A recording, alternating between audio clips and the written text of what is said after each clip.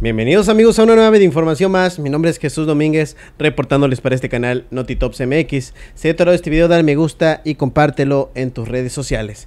De igual manera te voy a pedir de favor que si no es mucha molestia me puedas regalar esa suscripción. Pues amigos, ante los hechos de que Emilio Lozoya va a ser extraditado a México. Él viene, recuerden que él fue detenido en España, viene de este país y presenta que acepta la extradición a nuestro país para ser ahora sí entregado a las autoridades mexicanas y enfrentar por los cargos que se le acusan. Y bueno, se va a dar esta investigación, a lo cual, eh, a lo cual Emilio Lozoya dijo que va a colaborar con Alejandro Gers Manero. Pues en medio de todo este relajo, resulta que los abogados de Emilio Lozoya lo abandonan. Supuestamente ya había un arreglo desde hace un mes atrás, pero hasta el día de hoy sale a relucir. Vámonos con el intro del video, regresamos con esta video información.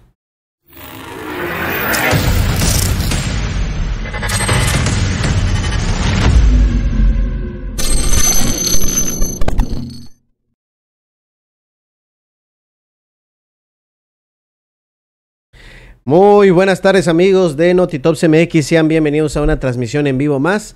Voy a mandar los primeros saluditos. A Ángel Cervantes, saludos a Opinando con el Hígado, saludos a nuestro amigo Toño, hasta Los Ángeles, le mandamos un cordial saludo. Y aprovechamos para invitarlos a su canal de Opinando con el Hígado. Saludos a Tony Moss, buenas tardes a su pintacarita Lilia Rodríguez, saludos a María Morales, gracias por el apoyo, no, gracias a ti amigo, muchas gracias por estar acá presente, saludos Ángel Cervantes, Gadiel Bautista, María Flores, Lilia Rodríguez y los invitamos a la página de Facebook Estadística Política donde estamos subiendo estos videos.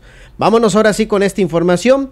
Recuerden que Emilio Lozoya, desde el año pasado, este exfuncionario de Peña Nieto habría logrado escapar de las autoridades mexicanas gracias a una filtración sobre la orden de aprehensión. Él huyó al extranjero. Hoy por hoy sabemos que Emilio Lozoya presentó formalmente a la Sala Penal de la Audiencia Nacional del Reino de España su solicitud por escrito en el que acepta la extradición requerida por la FGR México y manifiesta su consentimiento expreso para ser entregado a las autoridades mexicanas. Es por esto que vimos el día de hoy que fue tendencia Miro Lozoya, FGR, Alejandro Gersmanero, y es por esto que acepta Lozoya la extradición de España en México, a México, perdón. Pero, ¿qué hay en medio de todo esto?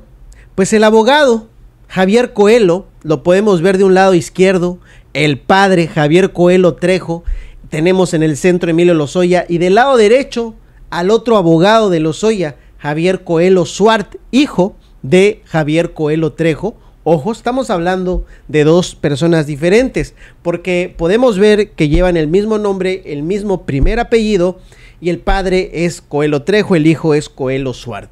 Una vez aclarado esto, entonces se deja el caso, el abogado Javier Coelho Trejo anunció que dejará la defensa del exdirector de Pemex, Emilio Lozoya, y también de su familia, por así convenir a sus intereses, medida que fue acordada con Emilio Lozoya desde hace un mes. Y es que sale a relucir apenas esto. Se supone que ya tiene un mes, pero apenas se acaba de hacer público. ¿Cuál es la razón de que tardó un mes completo.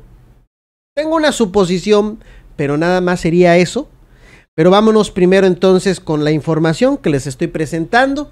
Miren, aquí tenemos otra más. El despacho de abogados Coelho Trejo y Asociados anunció que hace un mes determinó no continuar con la defensa legal en México, Emilio Lozoya, quien aceptó ser entregado de manera voluntaria a las autoridades mexicanas y ser trasladado a México.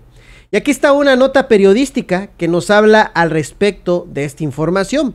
Despacho de Coelho Trejo desiste de continuar defensa de Lozoya. Esto está el día de hoy, 30 de junio del 2020.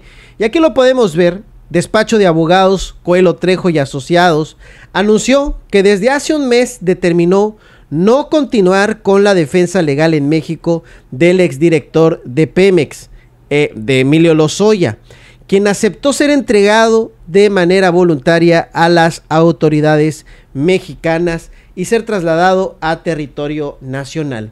Entonces es confirmado hoy por hoy Javier Coelho Trejo ya no está en la defensa de Emilio Lozoya.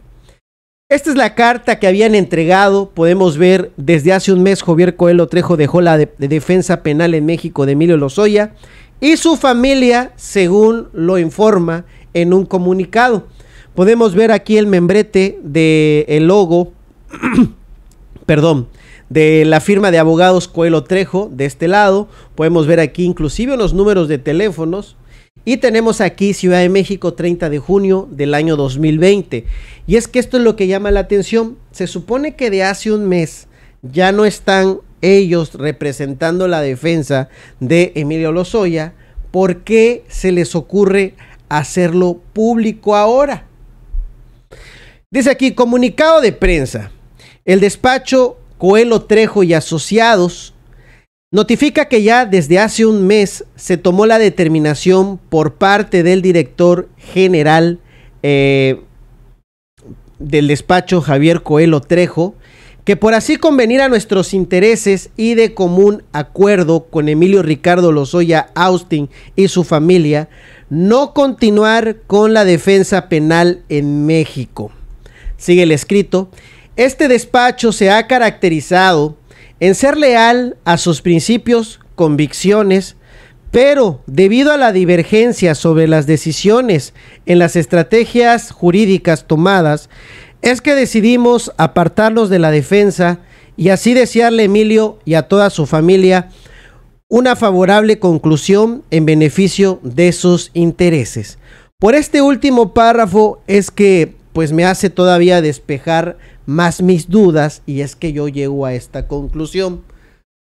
Dice aquí, ojo, recalco, el despacho se caracteriza por ser leal a sus principios y convicciones. ¿Por qué están dejando esto en claro? Bueno, uno podría decir cómo vamos a representar a Emilio Lozoya, que es acusado de varios delitos, entre ellos corrupción, eh, eh, con la empresa Odebrecht, lavado de dinero, eh, también con esta, eh, esta, este, se me está yendo el nombre, agronitrogenados, con la compra de esta industria de altos hornos de México, esta chatarrería, esa es la palabra, que había comprado Pemex a Alto Hornos de México y sobre todo a un sobreprecio. Pero también todo conlleva, hay que recordar, y voy a desaparecer un rato aquí de pantalla para que puedan ver completa la publicación. Bueno, creo que aquí se ve bien, así está bien, miren. Emilio Lozoya, hay que recordar esto, que Emilio Lozoya y Alejandro Gersmanero tenían el mismo abogado, Javier Coelho Trejo. Era abogado de Lozoya con respecto a esto que se le acusa por lo de Odebrecht, la compra de agronit... Eh, se me está yendo si es agronitrogenados o fertinal, pero sin duda alguna una compra a, altos hornos de México, esta chatarrería a un sobrecosto. Y entonces Alejandro Gersmanero también sería su abogado Javier Coelho Trejo, que lo está representando ante una situación que eso nos conlleva al año 2015. Por eso dice aquí, Javier Coelho Trejo encabeza la defensa del exdirector de Pemex por el caso Odebrecht, pero también es el apoderado legal del fiscal general Alejandro Gersmanero. Todo nos conlleva esto. Estos abogados son Javier Coelho Trejo y su hijo Javier Coelho Suart, quienes ya vimos hace un momento en las imágenes, en quienes Gersmanero había depositado toda su confianza cuando en 2015 les había otorgado un amplio poder para presentar a su nombre una denuncia penal e investigar el deterioro de salud y posterior muerte de su hermano Federico, quien falleció a los 82 años de edad. Según Hertz Manero, la presunta responsable de que haya fallecido su hermano por no haberle dado a los cuidados necesarios es su pareja, su ex esposa, la señora Laura Morán Servín, de 92 años, quien desde hace varias décadas vivía con Federico. Hay que aclarar que la ex esposa o la ex cuñada de Alejandro Gersmanero, esta señora Laura Morán Servín, de 92 años, es abuela de la esposa de Alfredo del Mazo, hoy gobernador del Estado de México. Ese es un vínculo familiar, no de manera directa, pero que los tendría, eh, pues directamente más que nada con su hermano de Gersmanero, que ya falleció. Y para ver esta investigación habían contratado a los abogados que el mismo Emilio Lozoya había contratado. Es por esto que menciona aquí, Hertz y su apoderado Coelho se enfrentan actualmente en la arena pública y en los tribunales por el mayor caso de corrupción en la historia reciente. Es decir, Hertz y su abogado de Hertz Manero, quien es Javier Coelho, o sea, van a enfrentarse por esta situación de Odebrecht, porque el abogado que representa a Hertz es el mismo que, que representa a Lozoya. Pareciera ser un poco más confuso, eh, pero ya no lo voy a repetir para no estar revolviendo, ¿no? En un dado caso. Entonces Hertz, como fiscal general, tiene la encomienda de llevar a Lozoya ante la justicia, pero a la vez su mismo abogado tiene todas, ahora sí que las vías legales para impedir que Lozoya vaya a la cárcel. O sea, esto al compartir el mismo abogado. Muchos de ustedes, estoy muy seguro, ya sabían acerca de esto. Y es por esto que lo habían publicado, ya tiene tiempo atrás, esta es una información de Animal Político, que lo habían sacado ellos la primicia de esta información. Y dice aquí esta relación entre el fiscal Gers y el abogado de Lozoya, que no se había transparentado a la opinión pública hasta ahora, fue confirmada por Animal Político. Y quinto elemento, en documentos contenidos, en sentencias judiciales, averiguaciones previas y el poder notarial al que se tuvo acceso. Se trata de un vínculo que según expertos y exfuncionarios consultados debió haberse transparentado en el momento, sobre todo por quienes están obligados a hacerlo, los fiscales del caso. Ello para prevenir un aparente conflicto de interés. Y más que nada es por ello. Pero amigos, hoy por hoy yo pienso que para que no haya ningún tipo de conflicto de intereses, una situación así, es por esto que la defensa de Emilio Lozoya lo abandona. Y pues es lo que pudimos, eh, bueno, es lo que pude yo concretar, es mi opinión personal, no tienen que tomarlo como última palabra, ustedes también tienen mucho criterio, eh, son personas que ya saben mucho acerca de esta información, inclusive mucho más que uno mismo. Y bueno, eh, esa es la información que yo les traigo por el momento. Si te gustó, dale me gusta, compártelo y gracias por tu suscripción. Saludos a Henry David. Eh, Gustavo, pues en Tambara Borolas a Peña y Fox no se iba a dar en un mes un año, eso lleva tiempo, son procesos largos y Gers no puede hablar mucho al respecto. Podría regarla por la presunción de inocencia, así es. Saludos a Caosfera, saludos a Canomar, a Best in Black, saludos a todos los que están por aquí, Armando Almanza. Ya estuvo que Lozoya saldrá libre a pesar de la falta de abogado, debido a la extrema corrupción de los jueces en México. Bueno, ese es el claro ejemplo que hemos visto. Eh, esperemos que no sea así. Tenemos a una Rosario Robles todavía en proceso. Tenemos a un Juan Collado todavía en la cárcel, en proceso.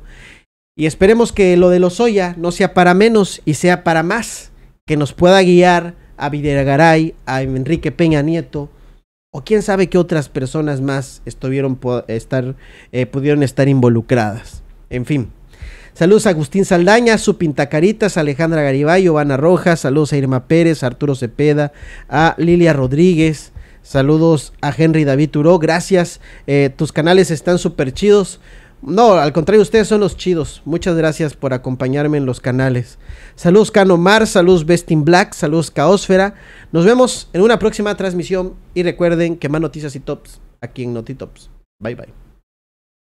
Alejandro Quiñones, saludos. Eh, ya llegué, ¿cuál es el tema? Gracias. Es de que los abogados de Lozoya dejan a... Lo abandonan, los abogados de Lozoya lo abandonan. Saludos Gustavo Castillo, Arturo Cepeda, Ángel Malvado, Raúl Castañedo. Saludos y les invito a ver el video eh, completo, ¿no? Gracias por su like.